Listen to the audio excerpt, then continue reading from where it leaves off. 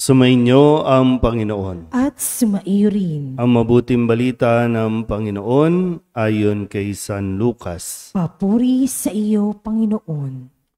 Noong panahong iyon, sinabi ni Jesus, Ano ang katulad ng paghahari ng Diyos? Saan ko iahambing ito? Katulad dito ng isang butil ng mustasa na itinanim ng isang tao sa kanyang halamanan Ito'y lumaki hanggang sa maging punong kahoy at namugad ang mga ibon sa mga sanga nito. Sinabi pa ni Jesus, saan ko itutulad ang paghahari ng Diyos? Katulad ito ng libadurang inihalo ng isang babae sa tatlong takal na harina. Ano pat umalsa ang buong masa? Ang mabuting balita ng Panginoon. Pinupuri ka namin, Panginoong Heso Kristo. Isang magandang umaga po sa inyong lahat. Kamusta po? Saan ba kayo napuyat? Nag-aabang o napuyat din sa fireworks, sa sigawan, sa hiyawan, may nanalo na. May nanalo na. Sana po ay talaga mapangatawanan no, ng mga ibinoto ang kanilang mga ipinangako at mapangatawanan din ng mga bumoto ang kanilang pinili. Ngayon natin malalaman o hindi pa natin malalaman sa susunod na araw, sa susunod na taon kung impyerno o langit. Pero siyempre, think positive tayo.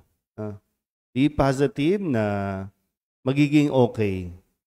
Sana maging okay. Yan yung pag-asa. No? Yan yung pag-asa na sinasabi at ipinapaliwanag no, ni San Pablo sa kanyang sulat sa mga taga-Roma. Sabi nga niya, no, yung pag-asa, ito yung pag-asa sa mga bagay na hindi pa natin nakikita pero inaasahan natin. Huwag tayong bibitaw doon sa pag-asa na yon no? na magiging okay din. Kasi talagang mahirap kapag nawala na tayo ng pag-asa at sinab para bang yung yung attitude natin na sige na okay na wala na tayong magagawa diyan eh kasi hindi totoo no mayroong magagawa mayroong mga mangilan-ngilan marahil at sana dumami na yung talagang inayos yung pamamaraan ng kanilang pagpili No? At sa mga susunod pa, madadagdagan pa yan hanggang sa tuluyan na, na maging uh, tama, maayos na pagpili at pagboto sa mga maglilingkod sa ating barangay. Mayroong pag-asa. Ha? Huwag kayong mawawala ng pag-asa. Doon sa mga hindi nanalo, huwag din kayong mawalan ng pag-asa. Mayroon ding dahilan at mayroon ding plano ang Diyos kung bakit. Kung pakiramdam ninyo, niloko kayo. Kung pakiramdam ninyo, eh kasi namigay ng pera yung kalaban, malakas yung kalaban. Kung yun ang pakiramdam ninyo at ipinag, pinahintulot pa rin ng Diyos, mayroong dahilan ng Diyos kung bakit sila nandyan. Pero tayo, tuloy ang buhay, tuloy ang pakikibaka, anuman ang maging paraan ng paglilingkod ng mga nai declare ng mga panalo no, kagabi o kaninang madaling araw. At sa ating pong ibanghelyo, na ito rin yung pinapaalala sa atin ni Jesus, hindi biglaan na mararanasan ang paghahari ng Diyos. Kaya nga sabi niya, nagbigay siya ng dalawang atalinghaga, no? ang atalinghaga ng mustasa at talinghaga ng libadura. Yung uh, mustasa na isang butil lang, no? Pero mo, kahit isang butil lang. Dito ipinapaliwanag ni Jesus na kapag itinanim at ito'y lumago, namunga, maraming ibon ang makakapamugad dito. Magiging isang punong kahoy na titirhan ng napakaraming ibon. Pero mo, isang butil lang, no? Napakaliit. So, pag minsan kasi no pag nadadasal tayo gusto natin agad-agad nandiyan na no ingrande, napakalaki. Pero ngayon, ipinapaunawa, hindi ganun. Kung gusto natin maranasan ang paghahari ng Diyos, may mga little steps, may mga little act no, of, na dapat nating gawin para tuluyan itong mangyari. Sa inyo po, no, na nakaranas na ng langit. Ano ba yung langit? Yung bang pinagtiisan ninyo, 'di ba? Ikinapang ninyo, kinayod ninyo na mabuti dugot, pawis, no? Ang lumalabas sa inyo para lamang matustusan ang pag-aaral ng inyong mga anak.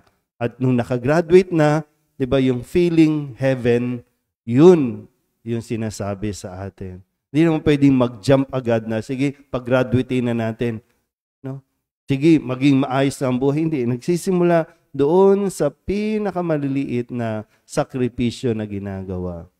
Ano din, sa paggamit ng libadura, no? Hindi pwedeng malaki. Hindi pwedeng madami kang ibudbodo ilagay. Dapat saktong takal ng libadura para maging maayos din yung paggawa ng tinapay. So, huwag natin isang tabi po, no? Yung mga maliliit at sabi nating minsan parang para sa pananaw natin walang kwenta. No? Kung gusto natin ng langit, kung gusto natin ng maranasan ang paghahari ng Diyos, nagsimula na kahapon, isang patak lang ng tinta, yun na malalaman kung langit o hindi. Sa inyo po, kung gusto nyong maranasan ang uh, paghahari ng Diyos, maging magkaroon ng heaven, nagsisimula sa pagdarasal ng pamilya. Pamilya nagdarasal, sama-samang lumalago sa pananampalataya. Yung heaven na hinahanap, yung mga words of gratitude, yung thank you, yung I love you, yung mahal kita, na pag sinasabi pa rin ng mga mag-asawa sa isa't isa, heaven ang karanasan nila. Pero pag hindi na naririnig yan, ah, nagiging malungkot ang isa't isa. Pero mahalaga, No? Importante yon pero pag isinantabi mo, wala. Hindi mo mararanasan ng heaven. Pero muli, no, pinapaalala sa atin ni Kristo sa talinghagang ito na simulan mo sa maliliit na bagay, sa maliliit na gawain, ipakita mo, sabihin mo kahit maliit. Dahil yan ay patungong langit. Amen?